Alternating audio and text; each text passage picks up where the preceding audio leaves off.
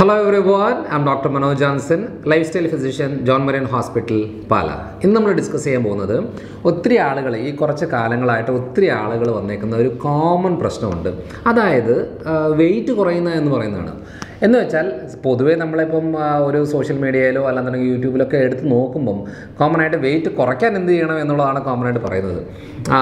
Diet restriction hormonal variations അങ്ങനെ പല പല കാര്യങ്ങളും അതിനകത്ത് ഇൻവോൾവ് ആണ്.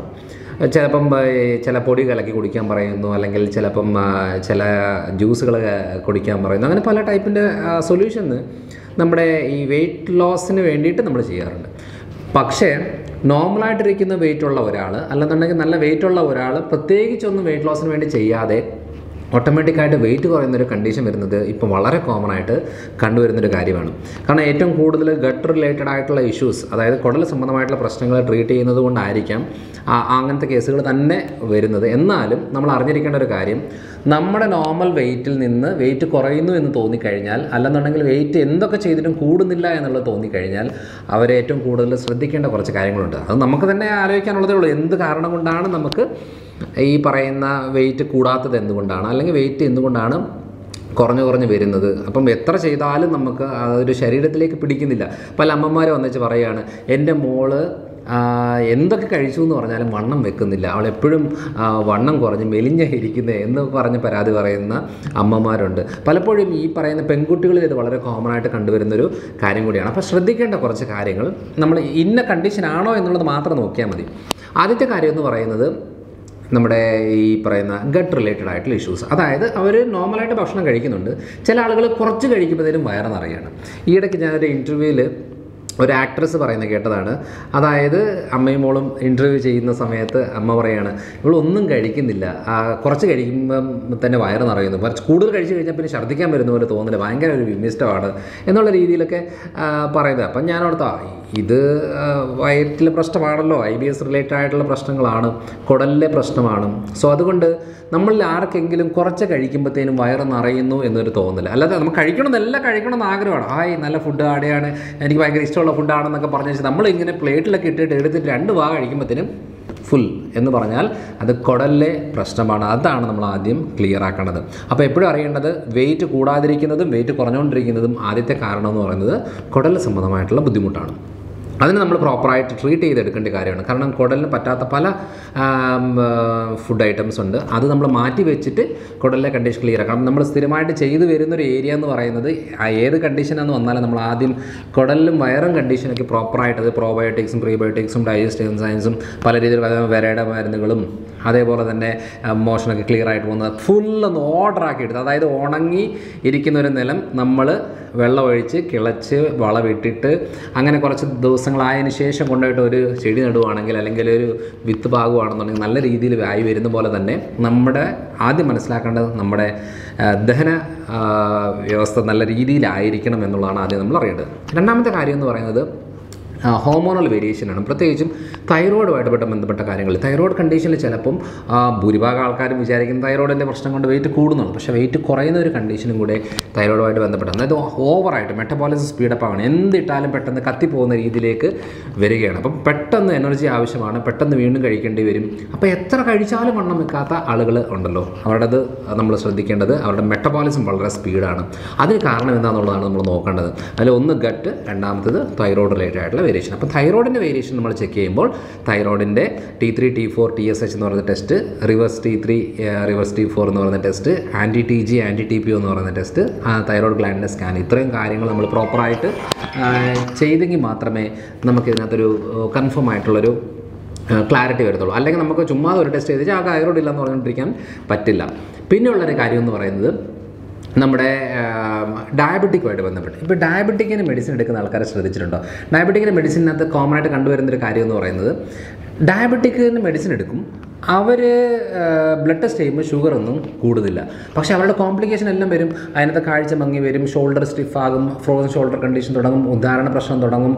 കേൾവിക്കുറവ് തുടങ്ങും. അതേപോലെ ഓർമ്മശക്തി കുറയും. കാലയിലും കയ്യിലൊക്കെ ആയിട്ട് പുകച്ചിൽ മരപ്പ് അങ്ങനത്തെ പ്രശ്നങ്ങൾ തുടങ്ങും. മസിൽ കൈയും കാലിലുള്ള മസിൽ കുറയും. മസിൽ ക്രാംസ് ഉണ്ടാകും. സ്കിന്നിന്റെ കളർ മാറും. നഖത്ത് നഖത്തിലൊക്കെ ഫംഗസ് ഉണ്ടാകും. മലം മുറുകുന്ന പ്രശ്നങ്ങൾ തുടങ്ങും. ഡൈജഷൻ ഇഷ്യൂസ് തുടങ്ങും. ഉറക്കത്തിന്റെ ബുദ്ധിമുട്ട് തുടങ്ങും. പല ടൈപ്പ് പ്രശ്നങ്ങൾ ഇവരുടെ ഡയബറ്റിക് കൺട്രോൾ ആയാലും വരുന്നുണ്ട്. കാരണം നമ്മൾ ഡയബറ്റീസിന് മരുന്ന് എടുക്കുന്നത് ബ്ലഡിലെ ഷുഗർ ലെവൽ കുറയ്ക്കാൻ വേണ്ടിയിട്ടാണ്. പക്ഷെ അത് മാത്രം കുറയുന്നത് കൊണ്ട് കാര്യമില്ല. അത് കുറയുന്നുണ്ട് കാര്യമുണ്ട്. വലിയ പ്രശ്നങ്ങളിലേക്ക് പോകത്തില്ല എന്നുള്ളതേ ഉള്ളൂ. പക്ഷേ മൂത്രത്തിൽ പത ക്രിയാറ്റിൻ കൂടുന്ന ഡയാലിസിസ് ഇങ്ങനെ അവരുടെ കോംപ്ലിക്കേഷൻ വരുന്നത് മറ്റ് രീതി ഇതിന്റെ ഡയബറ്റിക്കിന്റെ കോംപ്ലിക്കേഷൻ കൊണ്ടാണ് അവർക്ക് മരണം വരെ സംഭവിക്കുന്നത്. അങ്ങനെയാണ്. അപ്പം ഇതിനകത്ത് വളരെ കോമൺ ആയിട്ടുള്ള കാര്യം ഫാറ്റ് ലോസ് ആകും മസിൽ ലോസ് ആകും.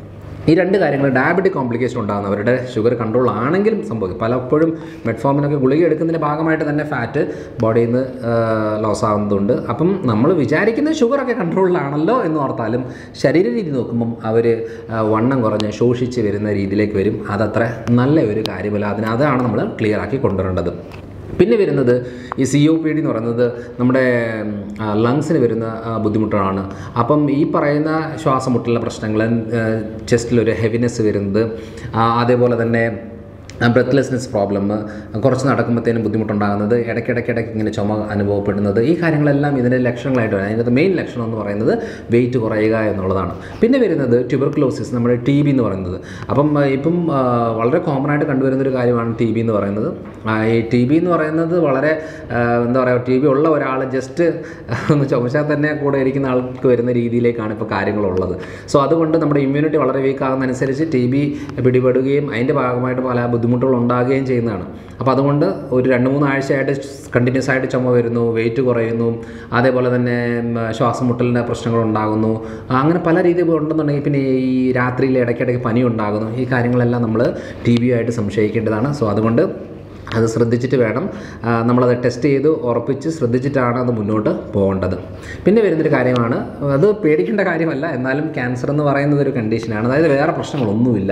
വെയിറ്റ് ലോസ് വരുന്നു എന്നുണ്ടെന്നുണ്ടെങ്കിൽ നമ്മളത് ഏത് ടൈപ്പ് എവിടെയാണ് അവരുടെ സിംറ്റം വരുന്നത് ചിലപ്പം പലതരം സ്കാനിങ്ങുകളിലും ബ്ലഡ് ടെസ്റ്റുകളിലും ഒക്കെ ആയിട്ട് നമ്മളത് കൺഫേം ചെയ്യേണ്ടി വരും. പിന്നെയുള്ള കണ്ടീഷൻ എന്ന് പറയുന്നത് ഈ ലിവർ റിലേറ്റഡ് ആയിട്ടുള്ള പ്രശ്നങ്ങൾ പ്രത്യേകിച്ചും ഫൈബ്രോസിസ് ലിവർ ചുരുങ്ങുന്ന ഒരു കണ്ടീഷനുണ്ട് സീറോസിസുമായിട്ട് ബന്ധപ്പെട്ട കാര്യങ്ങളിലൊക്കെ നമുക്ക് വെയിറ്റ് ലോസ് ഉണ്ടാകും. അപ്പം നമ്മൾ അറിയേണ്ടത് ഏറ്റവും ശ്രദ്ധിക്കേണ്ട ഒരു കാര്യം വെയിറ്റ് കൂടുക എന്ന് പറഞ്ഞാൽ ചില കാരണങ്ങളുണ്ട്. പക്ഷേ വെയിറ്റ് കുറയുന്നത് അത്ര നല്ലതല്ല. അപ്പം നമ്മൾ ഏറ്റവും കൂടുതൽ ഇമ്പോർട്ടൻസ് കൊടുക്കേണ്ടത് വെയിറ്റ് കൂടുന്നത് നമ്മൾ ശ്രദ്ധിക്കണം. ഓക്കെ അത് ശ്രദ്ധിക്കണമെന്ന് പറയുന്നില്ല. പക്ഷേ വെയിറ്റ് കുറയുന്നു എന്നുണ്ടെന്നുണ്ടെങ്കിൽ നമ്മൾ നിർബന്ധമായിട്ടും സീരിയസ് ആയിട്ട് വിചാരിക്കേണ്ട കാര്യമാണ്. ഈ കാര്യങ്ങളെല്ലാം ടെസ്റ്റ് ചെയ്തേച്ച് ഈ രീതിയിലുള്ള എന്ത് കാരണം കൊണ്ടാണ് നമുക്കത് ഉണ്ടാകുന്നത് എങ്ങനെയാണ് ശരിയാക്കേണ്ടത്?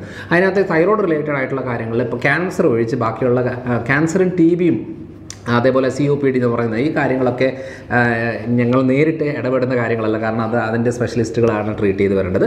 പക്ഷേ തൈറോയ്ഡ് വേരിയേഷന്റെ കണ്ടീഷനിലും ഗട്ട് റിലേറ്റഡ് ആയിട്ടുള്ള ഇഷ്യൂസും പിന്നെ ഈ lean P C O D എന്ന് പറയുന്ന ഹോർമോണൽ വേരിയേഷൻ അതിൽ പി സി ഒ ഡി കണ്ടീഷനിലും വെയിറ്റ് ലോസ് വരുന്ന ഒരു കാര്യങ്ങൾ വരും.